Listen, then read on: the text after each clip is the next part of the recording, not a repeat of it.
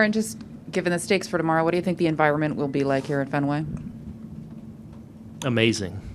Um, I, think the, the last couple times we've been here, when we came here in the summer, uh, and then and then obviously last week, um, you know, there's a buzz here. Um, a, it, it matters here. Um, it's fun to compete in games here. It's tough to compete in games here. Um, yeah, I, think it'll be some tension, electricity, you know everything you could hope for for a you know winner take all game in the playoffs and two uh, two outstanding franchises and teams. Gerrit Cole hasn't necessarily looked like himself the last few times out. In your mind, what does he need to do to start looking like like the guy we saw earlier in the season? I, I don't think it's far off at all. I think the stuff is there. Um, you know, I think going back going back to the Cleveland game where he struggled, I, I think he struggled way less than the line suggested. Um, I think in Toronto the other day, you know, they, they banged him for a couple home runs on, on a couple of just missed heaters. Um, so I think I think everything's there for him to put it together tomorrow. Um, it's just about you know executing in the right quadrants against a good team. Uh, Dan and Marley. Aaron, do you have a lineup yet? No, No. Um, and you, you guys dr- lost the first seven to Boston this year, and then uh, I think won six the last six. Is that is there anything to that, to, to how you guys have played Uh, better against them of late than you did earlier in the year? I mean I think we're a better team and are playing better when we've when we've played them more recently. Um, and and I think in those first was it seven, probably a handful of those were really competitive games that just you know kind of didn't go our way. Um, but I feel like a couple of those times maybe we weren't playing at our best. Um, so I think part of that is us kind of righting the ship a little bit here, especially in the second half of the season, kind of after that post Fourth of July. Um, but you know, I- I, think that's we've seen that happen in the course of this rivalry over the years, where you know you get hot for a little stretch against them or not. But I think uh, it'll be two really competitive teams. Marley. Aaron, as someone who is part of this rivalry as a, as a member of the New York Yankees, how do you feel about the single game elimination wildcard game, Yankees Red Sox? Well, if we win, I'll feel great about it. um, look, I mean, it's probably not perfect this way, but um, you also, you know, live to be in these kind of competitive environments and with a ton on the line. And, you know, we feel like as a team, we've been playing for a while now with a lot of the line, certainly the last week and 10 days and two weeks, but even going back a couple of months. And now we're truly at the must win portion of the schedule, you know? So, you know, I was asked all weekend about is this must win? Is, yeah, tomorrow's must win, right? We got to win or we're, we're done. So, um, I, I think as a competitor, and that's what you sign up for, and you hope to be in these scenarios where you're playing a meaningful game to move on to something more special. So uh, we'll embrace that. Look forward to tomorrow, and, and I know we'll walk out there with a lot of confidence and expect to play well and, and give it our best shot. Aaron, and when there was going to be a possibility of a four-way tie, you guys had picked uh, to play at Fenway Park, which I know had something to do also with avoiding the international travel. But now that this is going to happen, do you guys feel a little bit more, I know, better about yourselves and your odds in this ballpark because of what happened in the last series here?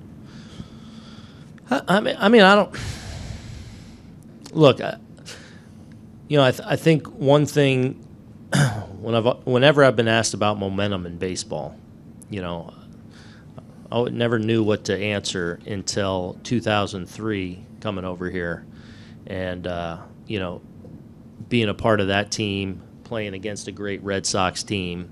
And I used to hear that all the time. Like we'd win a game and we'd grab the momentum, and then they'd beat the crap out of us the next day. And it's like, okay, I, I don't know what any of it means. I know, I think we're really a good team, and I th- I know when we play well, we can beat anyone. So, um, and I think maybe partly having a good week last week maybe gives us a little added confidence coming in here. Like, okay, we we can do this. Um, but you know, had we lost two out of three here last week, I, I- I think we'd feel the same way, frankly, walking in here. It's as I've said all along with with our guys, even in the lowest moments, I, I do feel like there's been an underlying confidence with them, and uh, I, I think we'll walk out on that field with that confidence, expecting to to win tomorrow. Uh, Christy and Brendan. Uh, Can you, do you have an update on how Gio Urshela is doing and what your confidence level in him being able to play at his normal level tomorrow? Yeah, I think he's going to be good. Um, saw Gio. I, he was actually getting some treatment about an hour and a half ago or two hours ago back at the hotel and saw him at brunch this morning. And, uh, you know, he was a little stiff, but actually felt pretty good. And, you know, I, I think if there was a game today, he'd be playing. So I think he's going to be fine. Um, again, I, I, I think we got incredibly fortunate in that situation because as as you know from what I it scared it's really scared me watching him launch in there from my angle.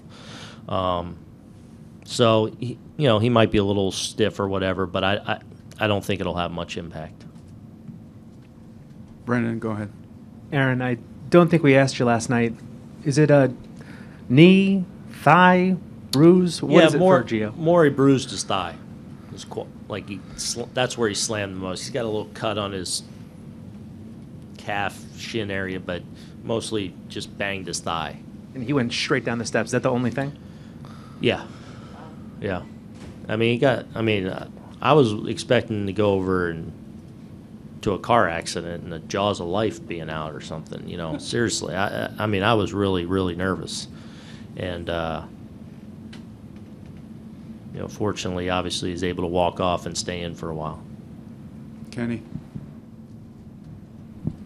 Aaron, you've talked about, um, you know, you like it.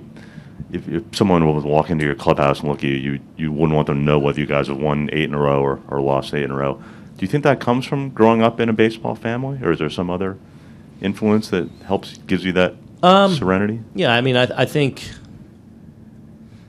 you know, a lot of times you are who you are and you're a product of what you grew up in, I guess. So uh, I'm sure that that is something that shaped me in that regard. Um, but so, yeah, I've, I, you know, I think that's a good question, actually, that I haven't thought about. And I, um, that probably is something to that. Look, I just think it's, a 162 game season. It's a grind. It's a game of failure. It's a game of, you know, even, you know, unlike other sports, even, you know, the best teams, you know, win 60% of the time. And you've got to be able to deal with that. And, and you see, you see teams, you see players, you see talented players that can't handle that, that go by the wayside. And so there's there's a makeup quality there that I think you have to have as a club um, if you're going to kind of survive the inevitable grind of the major league season. And in a similar vein, the fact that you had a dad who did the job you're doing and Yeah. was fired twice Yeah. uh, allows you to not worry about your, you know, your status here. I mean, Yeah. you know, you know, you know it's a it's a talking point in, in what's going on around this this team. Right. Um, yeah, I I really don't. So Does that? Do you think the fact that your dad did it make influences that? I'm sure that's part of it. Yeah. Um, I'm sure my faith has something to do with it. My family, you know, this is my livelihood. This has been a huge part of my life. I love it. it means a lot to me. But in the end, it's not everything. Pete Caldera, and all the way in the back. Yeah, Aaron, as, uh, as, as you go about constructing a lineup for tomorrow, uh, is Gleyber Torres locked into that leadoff spot, or might you consider Gardner or even Rizzo there? Um, I don't know yet.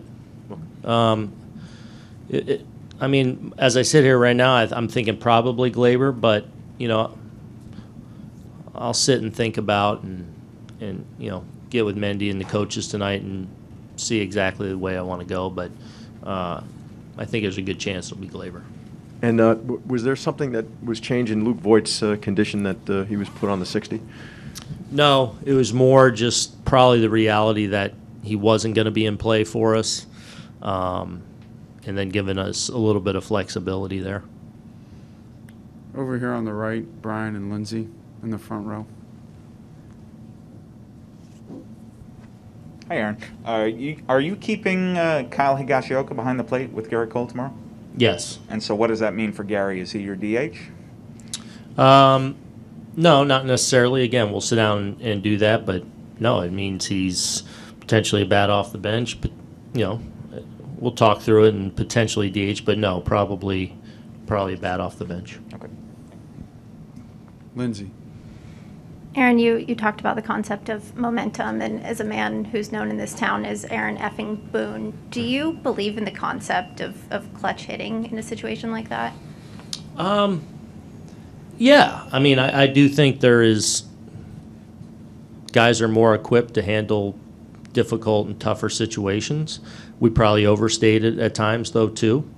Um, you know, sometimes it is a product of a guy being locked in or not locked in or, you know, just going through a, a tough stretch. Um, but I think there's no question that um, some people are more equipped to handle more difficult, more pressure packed situations, more clutch situations.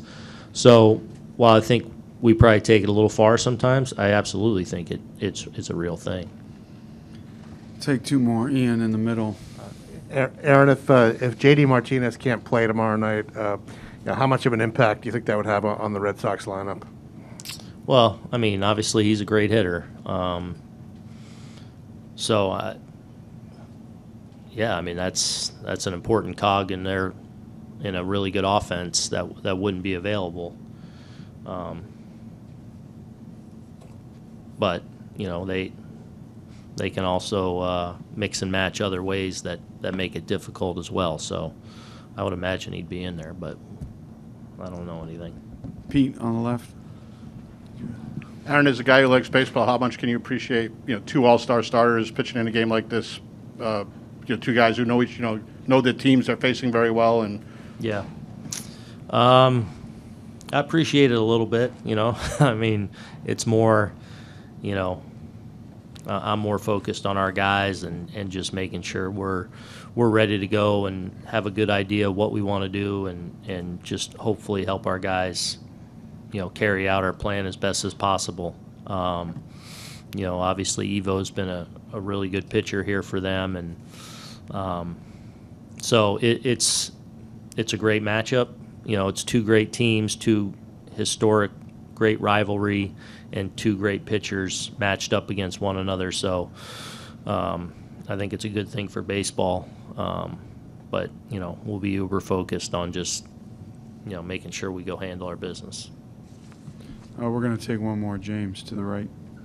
Aaron, how's it going? Um, just, I guess, two part, two related questions. Just what's it been like to, I guess, to be like back in a kind of more normal situation in the playoffs, whereas last year, as you know, all the different things you guys had to go through, neutral site and in the bubble. But and then secondly, what do you think of like the the protocol so far? Would they be they're easier to handle than than everything you went through last year, if that makes sense? Oh yeah, I mean last year, you know, last year was so challenging on on so many fronts. Um, navig, I mean, just learning as all of us were learning on the fly, and it was tough. You know, I, I think the way I put it was a heavy year. You know, especially you know dealing with um, things that were going on in our country, pandemic, social issues. You know, it's just a it's a tough, hard you know, in a lot of ways, sad year. And, you know, we were fortunate to be able to get to play a season. Um, it was a privilege to do so, but it was hard. And, uh, you know, this year on, on, on that front's been, you know, way better. And, you know, I think we know how to handle it and survive in it and live in it, um, and, while also being way less restrictive than obviously last year. Um, so, I don't know. I, I think we're kind of just conditioned to kind of handle it and deal with it now to where it's not too much of a distraction to what we're we're trying to do, you know, between the lines.